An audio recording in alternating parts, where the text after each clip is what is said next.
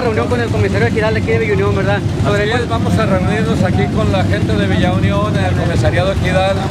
Eh, la mayoría de ellos pues dedicados a la agricultura y vamos a hablar sobre los proyectos que, se, eh, que está planteando el Partido Humanista.